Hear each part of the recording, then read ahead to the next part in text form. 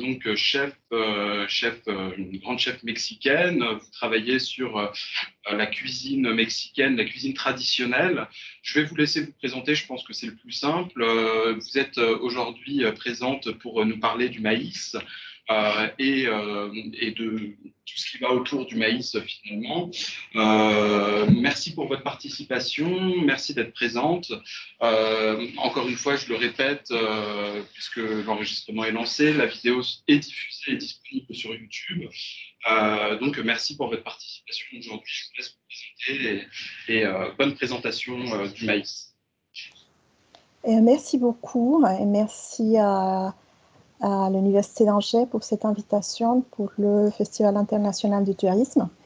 Et euh, oui, je suis Mercedes Ahumada, je suis euh, cuisinière mexicaine. Je commence à cuisiner depuis très très très longtemps, j'avais 11 ans. Et euh, effectivement, je arrive en France et je commence à travailler les maïs, vu que la culture des maïs ici est inconnue.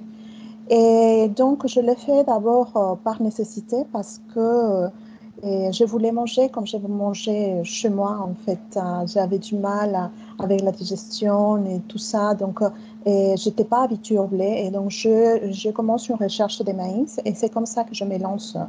C'est comme ça que je me lance avec des recherches sur les maïs. Parce que toute mon enfance, toute ma vie, j'ai vécu dans le, la MILPAC, c'est l'écosystème de la production du maïs. Je vais vous expliquer ça un, petit peu plus un petit peu plus pendant la, conférence et j'espère que vous allez aimer. Merci beaucoup, merci encore pour cette invitation. Donc, je vais, partager euh, mon écran.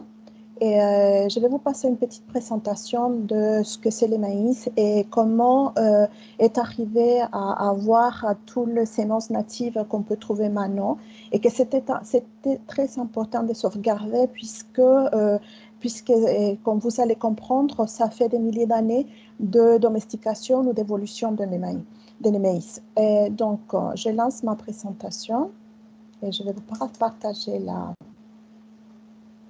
euh, je vais vous partager la, la, la, la, présentation. Merci beaucoup. Est-ce que vous pouvez voir? On voit très bien. C'est bien? Bon. Voilà. Et donc, cette conférence s'appelle Maïs et nixtamalisation. Mais qu'est-ce que c'est le maïs et qu'est-ce que c'est la nixtamalisation? Et, euh, et combien de sortes de maïs on connaît ou pourquoi il y a des maïs de couleurs euh, rouge, jaune, blanc, bleu, noir, comme on les appelle, même vert, rose, etc. Je vais vous expliquer un petit peu. Donc, mais pour commencer avec euh, cette histoire du maïs, je voudrais aussi euh, vous, vous, expliquer comment, comment cette, cette, l'agriculture l'agriculture et le maïs principalement sont très importants en, Amérique et parce que vous allez comprendre qu'à l'époque, il n'y avait pas, il y avait pas de céréales en fait. Ça commence l'agriculture avec l'un des grains les plus importants, l'un des grains les plus importants que c'est le maïs. Et quand les, quand les, les, hommes sont arrivés euh, en Amérique, il y a beaucoup de théories. Il y a beaucoup de théories, mais l'une des théories les plus euh, et les plus répandues, c'est la, théorie du détroit de Bering. Donc, les êtres humains sont arrivés en Amérique et, euh, on raconte que depuis des générations, euh, ils passaient par le détroit de Bering. Et la population a commencé, bon, les gens ont commencé à euh, peupler l'Amérique, mais à l'époque, bien sûr et bien entendu, c'était que la chasse, l'agriculture n'existait pas. Cette théorie et la plus répandue, comme je vous ai dit, euh, euh, partout dans le monde, c'est la théorie qu'on apprend à l'école. Et c'est important de comprendre parce que les êtres humains sont arrivés par ici de l'Asie et ils sont, ils sont descendus depuis l'Alaska et ils ont peuplé tous les continents américains. Vous voyez? Et donc, mais, mais le, le, continent américain, le climat, le climat et tous les écosystèmes changent au fur et à mesure, comme, comme d'habitude, quand on avance. Donc, pendant les premières années, bon, et quand je parle de premières années, je parle beaucoup d'années, c'est euh, à peu près euh, plus de, des milliers d'années, 40 000 années. Et l'homme est arrivé ici, comme je vous expliquais, et il s'est répandu, et c'était la chasse le plus important.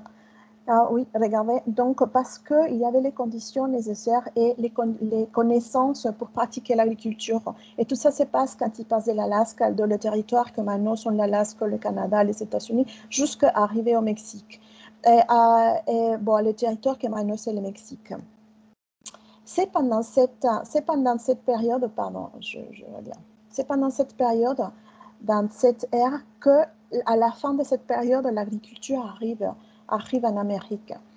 Et c'est cette période-là, l'archaïque, ah, pardon, archaïque, que le, le, le seconde période d'occupation du continent américain, que les êtres humains commencent à, comprendre comment ça va marcher, ou comment, bah, ils découvrent l'agriculture. La, la, pourquoi je vous parle de tout ça? Vous allez comprendre l'évolution du maïs à partir de maintenant. Et à cette époque-là, c'est entre 10 000, 18 000, 20 000 euh, années, entre il y a 10 000 années et 3 000 années, et à la fin, c'est quand l'agriculture a commencé à prendre une importance et en Amérique. Mais avec quoi? À cette époque-là, il y avait une petite plante sauvage qui s'appelait l'éthiocintle. Et c'est l'éthiocintle qui va qui va nous donner ce qu'on connaît comme euh, le maïs maintenant. Ici, nous avons une plante de théocintle, je ne sais pas si vous la voyez, c'est la première partie. Et il se reproduit de façon sauvage. La première partie, vous pouvez voir, c'est sauvage ici. Mais à cette époque, euh, à cette époque-là, comme je vous ai dit à la fin de euh, et euh, les hommes ont commencé la domestication de cette petite plante. Je vous j'ai ici, je ne sais pas si euh, je sais pas si vous pouvez voir à ma caméra, je ne les vois pas, je vois que la, la, la éponyme, je ne sais pas si. Je voulais vous montrer on voit bien. c'est le Vous voyez rien. Non, bon, d'accord. On voit bien, on voit bien, on voit très bien. Ah, vous voyez, nous avons ici euh, une petite, la petite graine, ça c'est l'éthiocincle. C'est le, le, père, le grand-père, l'arrière-grand-père du maïs qu'on connaît maintenant. C'est cette petite plante qui s'appelle l'éthiocincle. C'est la plante que vous pouvez voir ici. Vous voyez? Et à l'époque, à l'époque de la, de la, comment on s'appelle, de la, quand, la, quand, les êtres humains ont découvert l'agriculture, c'est avec cette plante qu'ils sont découverts. Mais cette petite plante est très dure. En fait, ça ressemble beaucoup au maïs, mais les traitures, c'est immangeable. Et, et à partir de là, ils ont commencé la domestication du thiocincle. Regardez ici. Ici, ça commence cette petite plante qui est là, et c'est celle-là. Ça, c'est le thiocincle qui commence déjà à être domestiqué. Je ne sais pas si vous pouvez le voir ou l'apprécier. Cette petite plante toute cette partie, c'est l'évolution, c'est-à-dire que pendant des milliers d'années, les êtres humains prenaient les graines les plus aptes pour continuer la sémence jusqu'à arriver au maïs, comme on les connaît comme ça, que c'est les variétés natives. Aujourd'hui, il y a plein de variétés natives. Je vais vous montrer cette variété native aussi, mais, mais, mais c'est une variété ancienne ça se mange pas, c'est juste dedans, il y a des petites graines de maïs, mais c'est surtout que le, enveloppé par des petites feuilles en même temps. Et cette petite feuille, euh, on les utilise pour euh, l'artisanat ou juste pour, euh, pour la conservation de la sémence, pour la sauvegarde de la sémence native. C'est cette petite feuille, regardez, cette petite feuille qu'on a maintenant pour les maïs la, même qu'on a dans chaque grain. C'est-à-dire chaque graine est enveloppée par une petite feuille de maïs, comme la feuille de maïs qui enveloppe maintenant l'épi en entier. C'est celle-ci. Ici, nous avons l'épi. C'est l'épi comme on la connaît maintenant. Mais l'épi de maïs, il y a beaucoup de variétés. Au Mexique, il y a environ une soixantaine de, de semences natives. J'ai ici quelques-unes pour vous montrer. Je ne sais pas si vous pouvez apprécier avec euh, comme ça. Sinon, je les sors un petit peu. C'est un peu compliqué.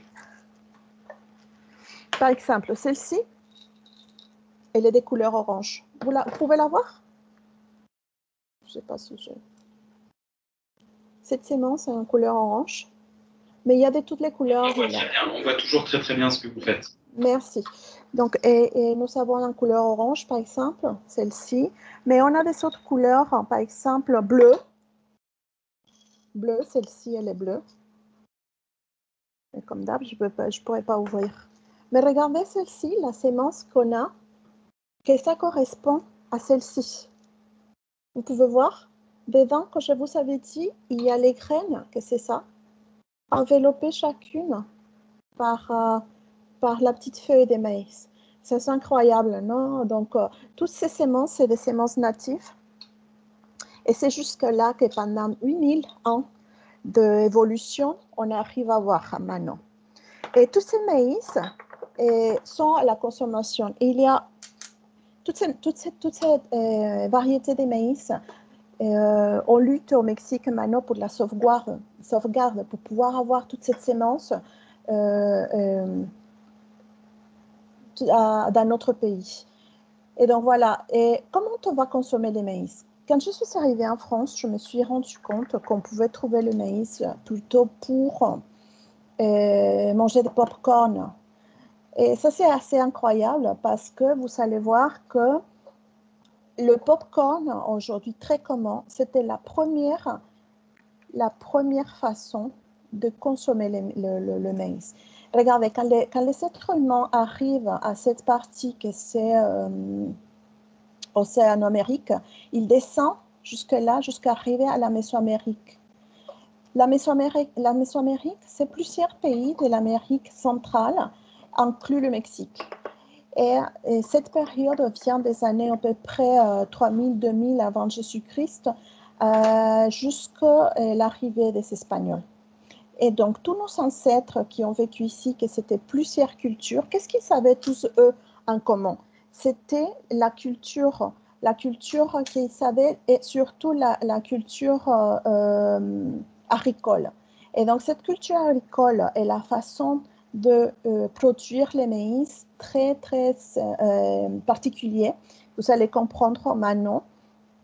Et entre eux, ils, ils partageaient la culture la culture des maïs, et c'est jusque maintenant, jusque nos jours, qu'on l'a, on l'a, on l'a reproduit de la même façon.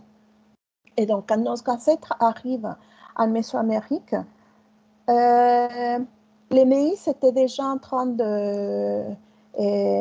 Et, et, ils se consommaient déjà. Mais comment ils consommaient les maïs Bon, ils les consommaient comme on les consomme maintenant. Une fois installés les déserts américains, hein, j'ai une petite graine de maïs, ici nous avons le Mexique, et j'ai mis ici le thiocintle. Vous pouvez le voir, le thiocintle est ici. Donc ce thiocintle, euh, et, je vous expliquais dans l'autre, regardez, nous avons le thiocintle ici, et ça va arriver jusqu'à une variété native, pardon, jusqu'à une variété euh, native. Donc ça va passer toute la, la procédure d'évolution jusqu'à arriver ici. Et cette maïs est variété native donne, comme je vous ai expliqué, plusieurs variétés, donc la variété du popcorn. Et j'ai ici, j'ai une variété de popcorn, de maïs popcorn, mais cette maïs popcorn est bleu. Vous pouvez voir J'ai des roses, euh, jaunes, plusieurs, plusieurs variétés de maïs popcorn. Donc, le maïs popcorn est originaire aussi euh, du centre du Mexique, de la région de, de la région de l'État de Mexico, euh, où là-bas il y a des variétés natives. Et donc, mais comment ils consommaient les maïs Regardez, nous savons le numéro un, c'est les comme je vous ai déjà montré. C'est comme ça qu'ils l'ont connu d'abord, sauf qu'il était immangeable, c'était trop dur après, le, tout l'évolution est passée jusqu'à arriver à une variété native. Nous avons ici la variété native. Mais je pense que, bon, je ne pense pas, c'est des théories, et euh, que, ils ne savaient pas comment consommer ces graines qui est assez dur parce que le popcorn est dur. Donc, ils sont dû les jeter dans des cendres de feu ou dans le feu. Et ils se sont rendus compte que le, pop, que le maïs euh, est explosé jusqu'à arriver au popcorn, non, les maïs euh, soufflés qu'on connaît maintenant. Et comment ils faisaient ça s'ils ne savaient pas des matières euh, grasses ou s'ils ne cuisinaient pas avec des matières grasses? Dedans le pot, il y avait des cendres. il y avait des centres donc, qui bougeaient et jusqu'à maintenant, il y a des populations au Mexique où cette technique s'utilise pour les fêtes, de, les fêtes rituelles pour euh, quand ça commence la période de l'agriculture ou euh, pour donner euh, comme offrande pour pouvoir avoir une récolte abondante. Et donc jusqu'à maintenant, depuis que les, les, les cultures mésoaméricaines se sont établies en Amérique, on continue avec cette procédure très, très spéciale. Malheureusement, les variétés de maïs natives pour quand sont en train de disparaître parce qu'on consomme tous les variétés euh, transgéniques ou hybrides. Donc, c'est pour ça qu'au Mexique, on essaie de sauvegarder cette sémence native. Donc, voilà, c'est quelle surprise. La première façon euh, de manger le maïs, c'était un popcorn que l'on consomme jusqu'au maintenant et avec à peu près la même technique. Mais qu'est-ce que ça a donné la, la, la, la, euh, la sémence de, du maïs? Regardez ici, j'ai deux photos. Cette photo, c'est l'éthiocincle. Vous pouvez voir ici, il y a une, je ne sais pas si vous voyez là, ma, souris, mais bon, euh, ici, il y a une plante d'éthiocincle. Bien sûr, c'est des hybrides verts. Et à côté, nous avons euh, un champ de maïs. Mais qu'est-ce que ces champs de maïs a de particulier? Au Mexique, le champ de maïs s'appelle milpa. Nous avons des champs de maïs euh, comme monocultive, bien sûr, que c'est les maïs hybrides, mais on essaye aussi de sauvegarder la milpa, que c'est un champ de culture, c'est un écosystème qui va permettre de faire un polycultive. Et qu'est-ce que c'est un polycultive? C'est un terrain où on peut semer plusieurs, euh, euh, plantes, dont les maïs. Regardez, nous avons ici les, les, les, lignes de maïs et on va semer entre entre, le, entre les plantes de maïs, de la courge et des haricots. Et ça s'appelle les trois sœurs ou la milpa. Et la milpa, comme je vous ai dit, c'est un écosystème où on va trouver tout ce qu'on a besoin pour euh, notre alimentation. Et, euh, et, pour sauvegarder aussi notre alimentation et la production de tous les des, des, des, aliments dont on a besoin. Non? Je disais le haricot parce que le haricot est plein de, de protéines et toutes les vitamines euh, et féculents, on va les trouver ici dans son champ de maïs. Et le champ de maïs, c'est la milpa. Mais bon, euh, on va continuer. Et regardez, après, après avoir passé toute cette, toute cette, euh, toute cette période, euh, toute cette évolution, nous sommes arrivés à la plante. À la plante, ça c'est la, l'épi de maïs, c'est la euh, féminine, la partie féminine de la plante. Et, et cette épi, cette petite épi, c'est la partie masculine. Et donc ça, c'est une plante de maïs. Et on va utiliser, au Mexique, on utilise tout. On va utiliser les feuilles, c'est toutes ces feuilles. Et on va faire des papillotes de maïs. Je vais vous montrer la technique de nixtamalisation maintenant. Euh, ces feuilles, c'est celle-ci que je vous ai montrée tout à l'heure. Pardon, excusez-moi. Et nous avons plusieurs façons de consommer les maïs. Celle que je vous expliquais. On a une épi de maïs tendre et on la mange tendre comme ça. Quand elle est sèche et qu'on l'arrache de la plante déjà sèche, on va arriver à avoir les graines comme ici. Et on va les consommer en popcorn et en farine. La farine, on la connaît tous. La farine en façon polenta, de façon polenta. Mais la, la, quand nos ancêtres se sont rendus compte qu'ils pouvaient faire des farines, et, euh, et, la consommer de cette façon-là pour le faire du pain. Ils ont découvert une, une technique très importante et la technique la plus importante jusqu'à maintenant au Mexique, que c'est la nixtamalisation. Mais qu'est-ce que c'est la nixtamalisation Je vais vous expliquer tout de suite. Donc jusqu'à maintenant, c'est plusieurs façons de manger le maïs. Mais la dernière et la plus importante, c'est celle-ci, que c'est la nixtamalisation. Mais qu'est-ce que c'est la nixtamalisation La nixtamalisation, c'est tout simple, c'est juste la cuisson du maïs dans un milieu, euh, euh, idéal pour pouvoir euh, arriver à avoir une pâte. une pâte de maïs. Si on n'a pas cette euh, procédure, on va arriver jusqu'à avoir une farine comme ça, mais on n'aura jamais une pâte. C'est-à-dire que si on ajoute de l'eau à la farine qu'on a, on aura une farine, on aura comme, le, sable de la mer. On ne pourra pas faire une pâte, ça va couler le, le, comment s'appelle, l'eau. Et on ne pourra pas produire le pain qu'à l'époque on mangeait le, mexicain, que c'est la tortilla de maïs qu'on connaît maintenant. Et, euh, et, comment ça va se passer? On va, euh, bon, pour faire la nixtamalisation, on avait besoin de trois ingrédients seulement. On avait besoin des cendres. Bon, à l'époque, ils utilisaient des cendres, du maïs et de l'eau. Bon, et du feu. Regardez, ici, nous avons les, les cendres. En langue nahuatl, ça s'appelle nextli. C'est pour ça le terme nixtamalisation. Et tamali, qui veut dire pâte de maïs. Donc, et je vous ai dit, j'ai mis ici un feu parce que c'est ce qu'on va utiliser, c'est cette partie qu'on va brûler. Et ça, c'est les cendres de feu. Après, nous avons le maïs et une fois qu'on aura fait la nixtamalisation, on va arriver à avoir cette pâte. Comment ça va se passer? Bon, cette procédure est exactement la même et elle n'a pas changé depuis des milliers d'années. Je pourrais dire que c'est la technique, la technique pardon, culinaire la plus ancienne qu'on peut connaître dans le monde parce qu'on l'a fait tel quel nos ancêtres au Mexique l'a fait. Et, et, on la, consomme exactement de la même façon, on la prépare exactement de la même façon, on la transforme aussi exactement de la même façon qu'il y a des milliers d'années. Donc, la première partie, c'est ce qu'on va faire. D'abord, c'est euh, égrener, les maïs. Regardez, nous avons ici l'épine de maïs, elle doit être sèche.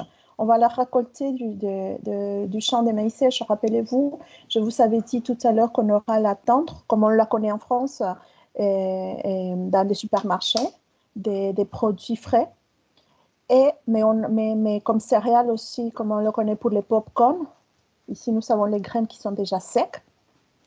On va faire bouillir le maïs dans une solution alcaline, c'est-à-dire dans l'eau, on aurait déjà dilué les centres de bois. Les centres de bois doivent être purs et sains, c'est-à-dire il ne doit avoir pas de résidus. En fait, en fait, si on veut nixtamaliser en France, on peut le faire avec du maïs qu'on peut trouver dans le supermarché. Même les pop-corn, euh, on peut le faire avec celui-là. Et on va diluer les cendres de la cheminée, par exemple, si on utilise le, bois, euh, du bois pur ou de l'hydrogène de, calcium. Pardon. L'hydroxyde de calcium, c'est la chaux. C'est la chaux alimentaire qu'on connaît et qu'on peut trouver dans certains endroits des produits alimentaires. Et, avec ça, on va faire un mélange et on va faire bouillir, si on parle des graines de popcorn par exemple, à peu près une heure. Pendant une heure, on va laisser, euh, on va laisser euh, bouillir et on va laisser après reposer euh, pendant 24 heures. Pendant tout ce temps, le, maïs va perdre la petite peau que, les graines de maïs peuvent avoir.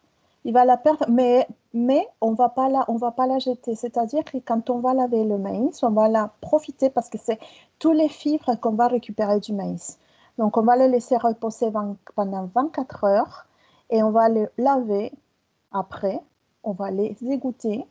Et c'est ça qu'on aura des graines de, de, de, de maïs très, très euh, euh, prêts pour travailler. Est-ce que je peux avoir un petit... Euh, voilà, celui-là. Voilà, je vous, ai, je vous ai déjà fait la nixtamalisation parce que pardon, il, faut, il faut attendre 24 heures. Donc, les graines de maïs, regardez, Normalement, c'est dur, vous pouvez voir.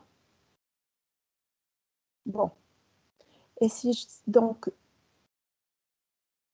si j'écrase, pas avec beaucoup de force, regardez, le, maïs, il est déjà prêt pour passer maintenant à la suivante étape.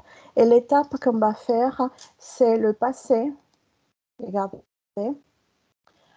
on va moudre tous ces, oh, oh, oh, le maïs pour arriver à avoir une pâte de maïs. Comment on va faire pour avoir la pâte de maïs? Ici, c'est la technique ancestrale. Et nous avons ici une sorte d'appareil qu'on utilise jusqu'à nos jours, que je vais vous présenter maintenant, qui s'appelle métate. Cette métate, c'est une pierre volcanique.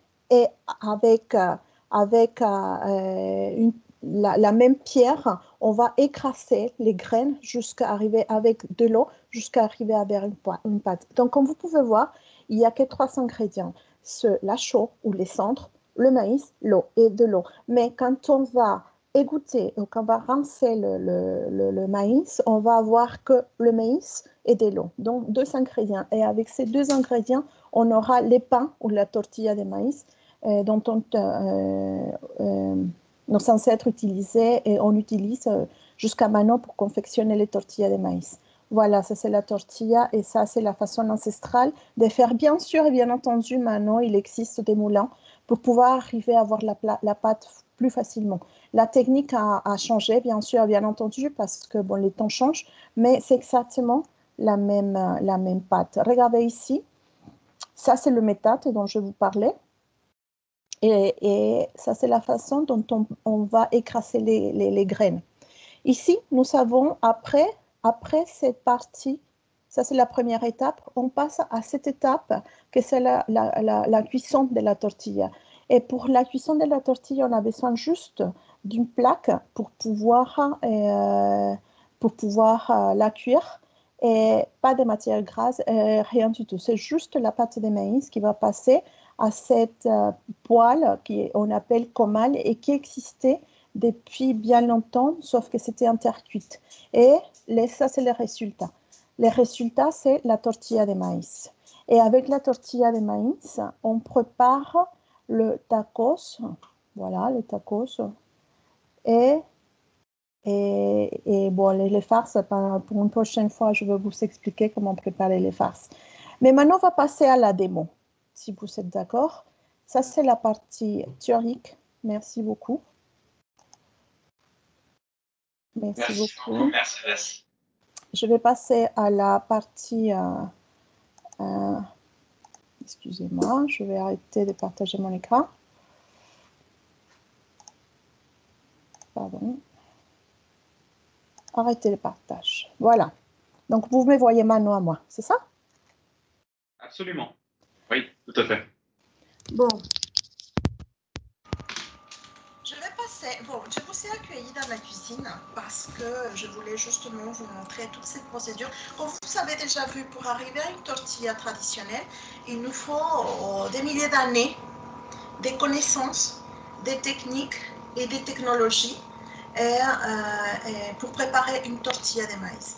En France, et bien sûr, c'est la culture des blés et, la communauté mexicaine essaie de, lutter, de reproduire toute cette technologie pour pouvoir arriver à comprendre que euh, la tortilla qu'on peut trouver dans les surfaces, ce n'est pas du tout la même tortilla qu'on utilise pour manger les tacos.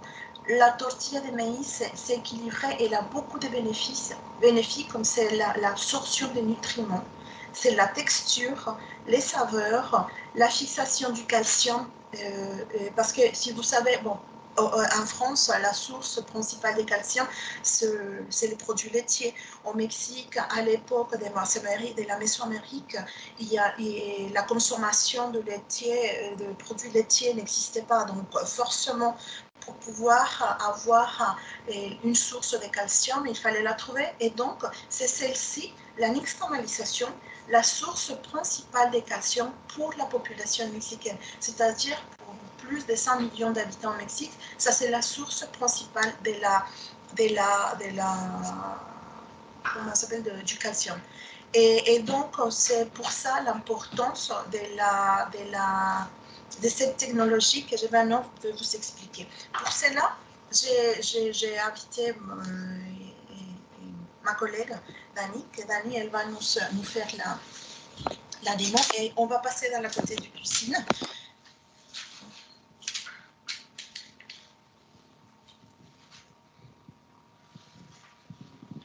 Donc voilà. Ça, c'est Dani. Bonjour. Bonjour à tous. Bonjour. Et ça, c'est le métate. Ça, c'est la pierre volcanique dont je vous parlais tout à l'heure. Je vais vous présenter tout d'abord le, les, les, ustensiles qu'on va utiliser. Ça, c'est le métate avec la pierre dont on va écraser. Elle est lourde et on les fait toujours comme ça au Mexique. Cette façon de travailler dans le peuple natif ou originaux, on l'utilise toujours. et, dans la, ville, on utilise le moulin de maïs. Après, nous avons ici une presse à tortilla. Ça, c'est une presse à tortilla. Ça, c'est une presse à tortilla, regardez. Et c'est avec cet appareil qu'on va, euh, va euh, aplatir la pâte de maïs. On va utiliser, dans ces, à ce moment-là, on va utiliser un, un film plastique alimentaire mais sinon, au Mexique, les dames le font à la main. C'est-à-dire, avec la main, elles, forment la tortilla et, et ronde. La tortilla, on peut la trouver de toutes les, de toutes les couleurs. Euh, rouge, euh, blanche, comme, les maïs en fait. Si le maïs est bleu, bah, la tortilla sera bleue. Si le maïs est rouge, là par contre, la tortilla sera rose. Parce que, bon, euh, une fois qu'elle sera mélangée avec l'amidon qu'elle va produire, elle deviendra rose. Euh, mais si, le, maïs est, blanc, on aura une tortilla euh, blanche, bon, un petit peu jaune.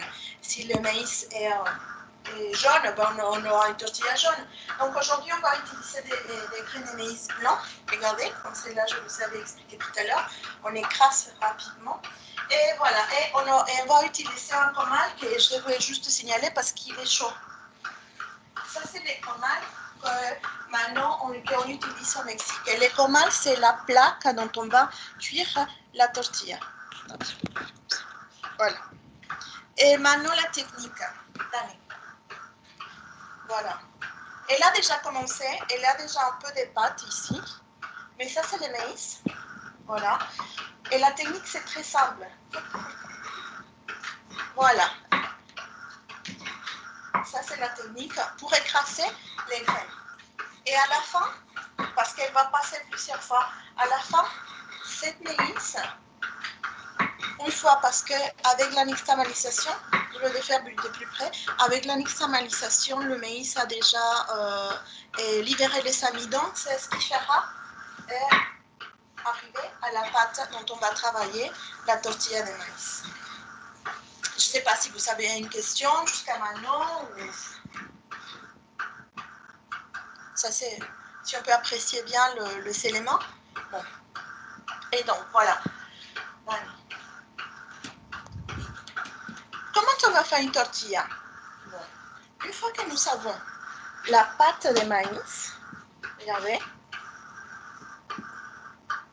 pour arriver à, arriver à, avoir la pâte de maïs, c'est déjà passé plusieurs heures depuis qu'on a, depuis qu'on a commencé à, faire notre pâte, c'est-à-dire le 24 heures, une heure de, cuisson, 24 heures de repos, et quelques, quelques heures pour pouvoir euh, les, les, graines. Et là maintenant, c'est l'élaboration de la tortille. Voilà, comme ça. Petite boule qu'elle va écraser.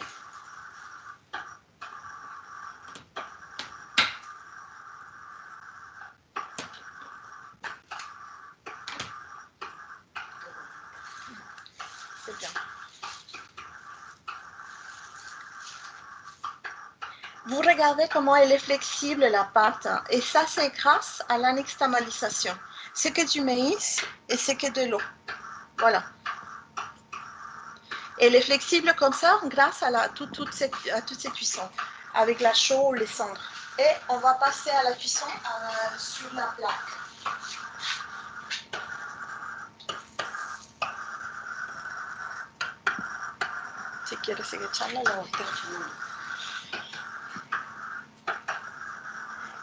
Et euh, à partir de là, c'est un peu plus simple ou c'est un peu plus rapide. On va laisser cuire euh, la tortilla d'un côté, à peu près euh, pendant une minute. Ou un peu moins, vu qu'elle est très très chaude, la plaque.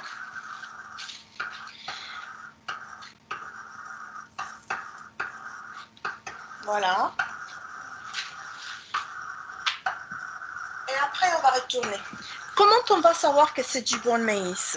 Parce que vous pouvez voir, on va descendre un petit peu, vous pouvez voir hein, tous ces petits parties qui sont un peu, un peu marron. Bah, c'est le maïs qui est, qui est un, peu, un peu grillé. Vous pouvez voir De l'autre côté, on va attendre. De l'autre côté, on va attendre aussi un peu, de façon que avoir aussi le petit maïs euh, un peu grillé. Et la tortille, elle va gonfler. À ce moment, notre tortille est déjà cuite. Vous pouvez voir, elle gonfle un petit peu et ça veut dire qu'elle est déjà cuite.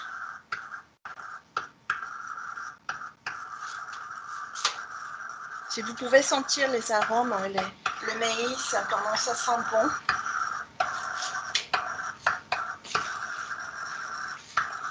Donc voilà. Et nous avons déjà une tortilla. Maintenant,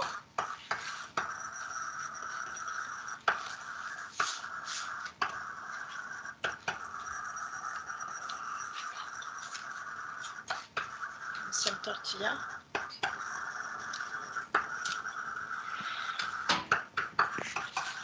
Voilà. Et donc Daniel continue à faire les tortillas.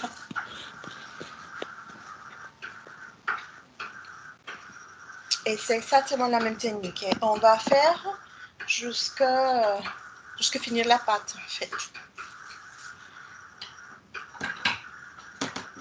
Ça, c'est la tortilla traditionnelle mexicaine. Maintenant, comment on va manger cette, euh, cette tortilla? C'est quelle est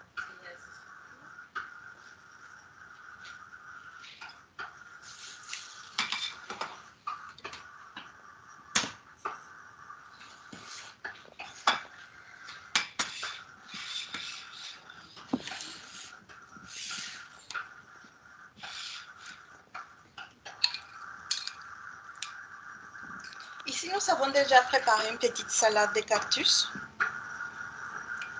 Ça, c'est les cactus qu'on consomme ici au Mexique.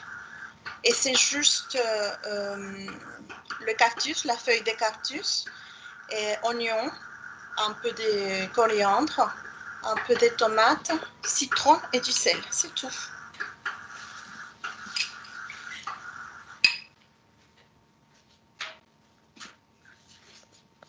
Et on est en train de brûler nos tortillas. Donc voilà. Le taco n'est pas un plat comme on peut penser un peu, euh, comme c'est présenté à- en France par exemple, on les présente comme un plat. C'est pas un plat, c'est une façon de manger. Disons que les travailleurs au Mexique prennent des tacos comme si c'était des sandwichs. Voyez, c'est un sandwich où on va mettre que des ingrédients nutritifs. Et donc, vous pouvez voir, ça, c'est les éléments de la milpa dont, dont je vous parlais tout à l'heure. C'est le maïs qu'on peut avoir dans la milpa, les cactus qui, qui viennent du même polycultif, parce que ces polycultifs, les cactus vont entourer le, le- le- le terrain. Et, euh, et, euh, oignons, la sauce, parce que le piment est aussi cultivé dans les mêmes poly- polycultifs. Et comme je vous avais dit tout à l'heure, et euh, voilà. Voilà, avec la milpa, on peut bien nourrir le. On va, mettre ici. On peut se nourrir de tous les produits qui viennent de la milpa. Ça s'appelle le régime de la milpa. C'est un peu comme le régime méditerranéen, mais c'est le régime de la milpa. Et ça s'appelle un taco. Vous pouvez les voir.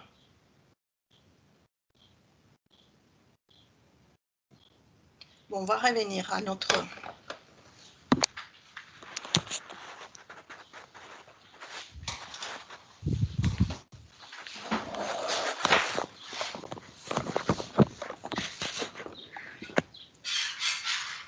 Bon, après, après ça, c'était notre démon. C'est une, démon. Je ne sais pas si vous avez compris comment ça se passe, la nixtamalisation. C'est une procédure très, très simple, longue à faire. Mais au Mexique, quand on, quand on parle du maïs, on parle d'un produit vraiment rituel. C'est-à-dire, on commence à partir de la sémence et on va choisir les graines, par exemple. On va arriver à voir tous les grains de maïs qu'on va trouver au Mexique.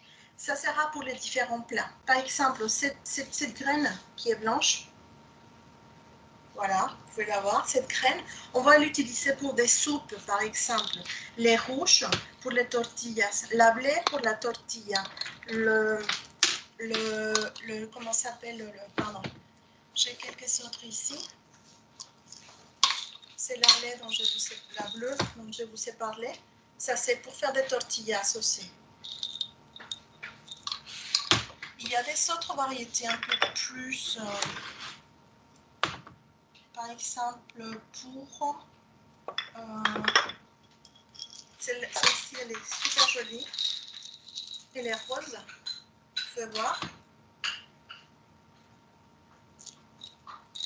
Et on aura des tortillas un peu roses, très très pâles.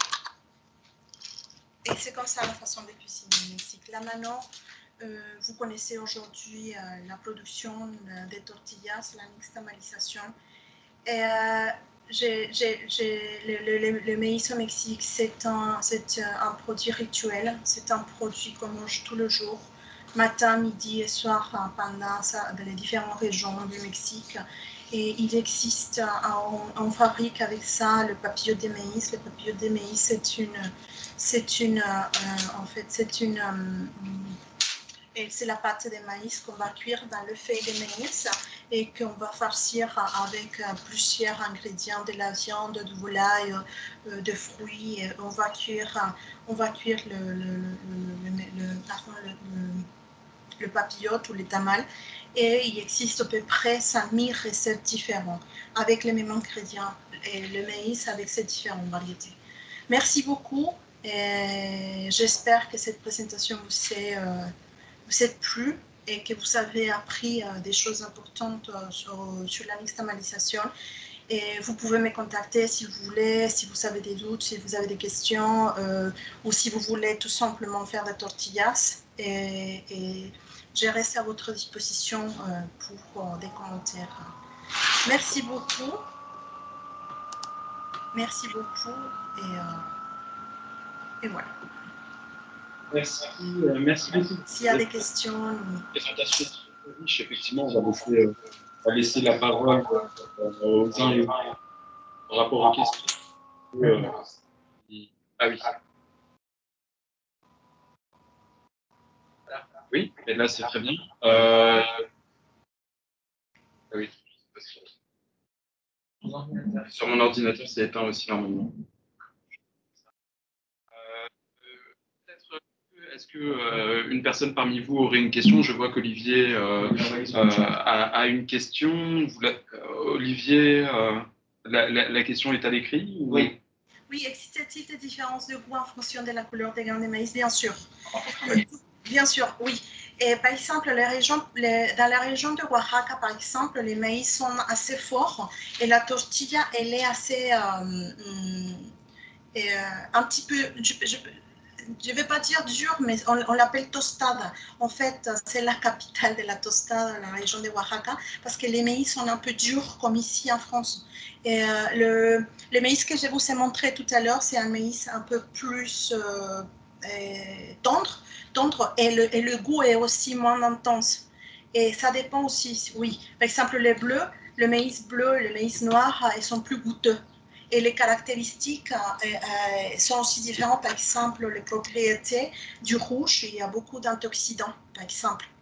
Et, le, et, les, goûts un peu plus, euh, un peu plus moins goûteux que le, que le, que le bleu, par exemple. Le, le, bleu est fort. On adore le bleu parce que le goût du, le goût du maïs, du maïs bleu est, fort.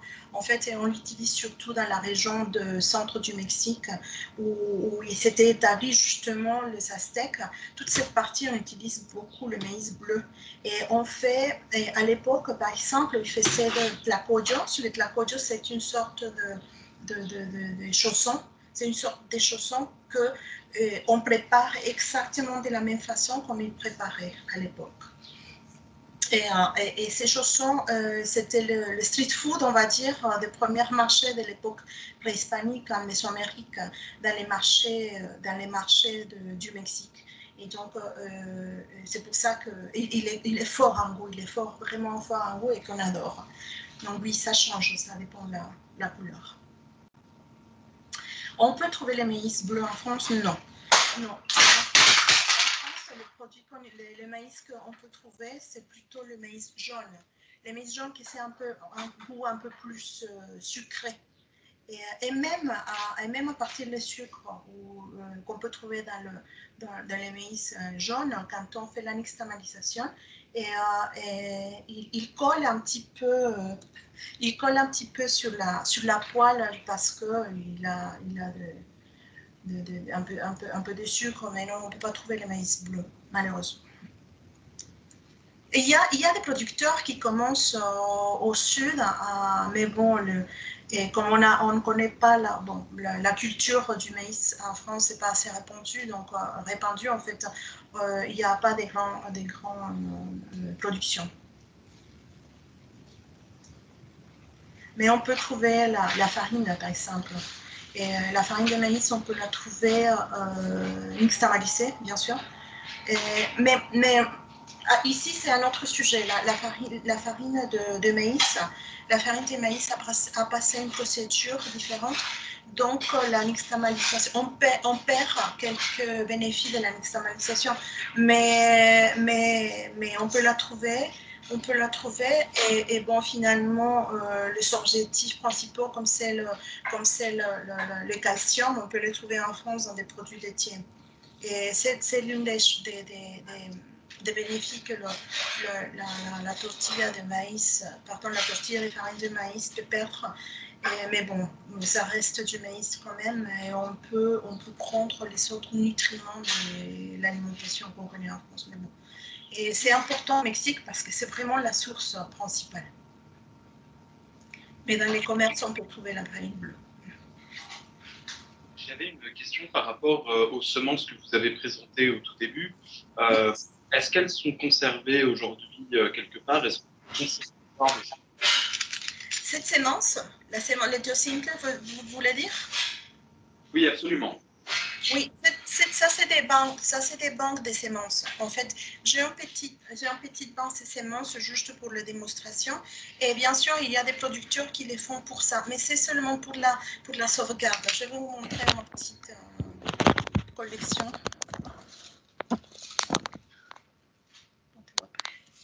Je ne sais pas si vous pouvez voir.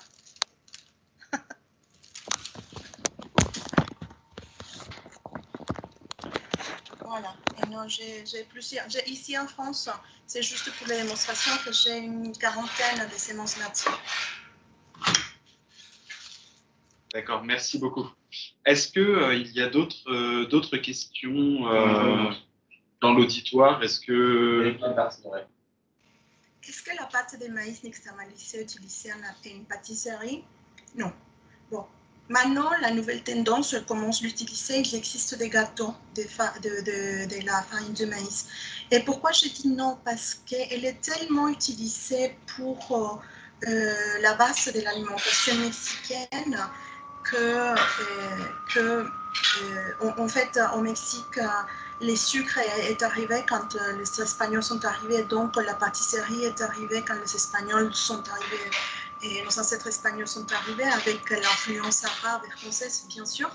Et donc, et donc et au Mexique, et on n'est pas, très euh, pâtisserie. En fait, la pâtisserie qu'on produit qu'on fait au Mexique, c'est un peu la pâtisserie euh, euh, tendance en Europe. Donc, comme le maïs n'est pas une culture et n'est pas une tendance en Europe, on ne suit pas forcément l'utilisation du, maïs en pâtisserie. Mais il, y a des recettes traditionnelles et, traditionnelles dont on utilise le maïs, que c'est des gâteaux, comme des génoises comme des génoises à peu près. Mais c'est tout. Sinon, euh, comme je vous ai dit, les, nouvelles, les, nouveaux les chefs, les jeunes chefs avec des nouvelles tendances, ils, commencent à utiliser, mais c'est pas assez répandu encore. On l'utilise pour, euh, comme notre, notre base d'alimentation. Je ne sais pas si vous avez une autre question. Absolument. Merci pour vos réponses. Est-ce qu'il y a d'autres questions euh, Après, il y a, quand, on fait la, la, tortilla de maïs, on, peut, penser que la, poêle doit être chaude, très très chaude quand on fait des, quand on fait des crêpes. Ça, c'est une erreur. En fait, la poêle doit être chaude mais pas au point de brûler le maïs parce que le, maïs est très délicat. Comme vous avez vu, il commence à devenir, euh, euh, il commence à griller tout de suite. En fait, tout à l'heure, euh, Dani, elle a laissé une tortilla. Vous voyez, la tortilla, elle est restée sur la poêle. Elle n'est pas brûlée parce qu'on a, on a éteint la tortilla, on a éteint la poêle, mais c'est ce qui nous reste, c'est une tostada. Et la tostada, c'est ce qu'on connaît comme la tortilla chip en France, en Europe, partout. Mais la tostada, ou d'ici, euh, si on la coupe, ça serait comme le nachos qu'on connaît ici, mais que le nom véritable c'est totopo. Et, euh, mais si vous voyez, il y a, il y a, a rien en matière, il n'y a pas de sel, il n'y a rien. C'est juste la, la, la, tortilla de maïs qui est devenue un peu dure. Écoutez, vous avez entendu? Et donc, ça, c'est le maïs qui est grillé, qu'on consomme comme ça. Si on le, si le, on les coupe en petits morceaux, on a le, on a le, s'appelle, c'est ce qu'on connaît ici comme nacho. Mais euh, vraiment, sur le, sur le nacho totopo, il n'y a rien, que du maïs aussi, que du maïs et de l'eau. Là, maintenant, c'est déshydraté, il n'y a plus d'eau. On a juste le maïs en forme de tortilla, mais c'est vraiment que du maïs euh, ici. Et qu'on accompagne avec, bien sûr, le guacamole, les haricots. C'est ça, en fait, c'est ça l'original qu'on utilise avec le guacamole voyez, ce n'est pas le, les triangles de commerce qu'on connaît maintenant. Il y a quelqu'un qui dit qu'il a eu l'opportunité d'écouter tortillas brazochinico. Elle savait un goût agréable et intéressant. Euh, je demande si vous utilisez le maïs pour faire des boissons, bien sûr. Et il y a des boissons euh, de maïs nixtamalisées aussi, que, euh, c'est même, même, des boissons qui viennent depuis, qu'on connaît des, des, recettes qu'on connaît depuis, depuis aussi l'époque préhispanique. Le maïs, comme je vous ai expliqué, c'est un élément euh, rituel avec le cacao et le piment. Le piment. Et donc, euh, nos ancêtres préparaient des boissons euh, à base de, de maïs, de cacao, ou des maïs tout simplement, froid, chaud pour réfléchir. Et en fait, comme c'était des peuples agriculteurs et, donc euh, les activités physiques c'était euh, important, assez importante. C'est pour ça que c'est pour ça que le, le, poisson de maïs ou les papillotes de maïs, c'est euh, c'est ça donnait l'énergie, ça donne l'énergie jusqu'à maintenant pour ceux qui travaillent beaucoup, de. En fait, à la place de manger une barre de, vous savez, des protéines des choses comme ça, juste le, maïs avec un boisson de maïs, euh, c'est exactement la même chose. C'est le même, euh, c'est les meilleurs résultats. Là, on a l'énergie, euh, on a tout ce que le corps a besoin. Bien sûr, accompagné avec un régime équilibré. Voilà, oui, oui. Et je ne sais pas si vous avez une autre question. Non. Je ne sais pas, effectivement, est-ce qu'il y, a encore une personne qui a une question? Sinon, un, énorme merci euh, pour très complète et euh, très intéressante. Et euh, je pense qu'il a donné fin à tous ceux qui ont pu la suivre en direct. Merci, merci infiniment. S'il n'y a pas d'autres questions pour l'instant.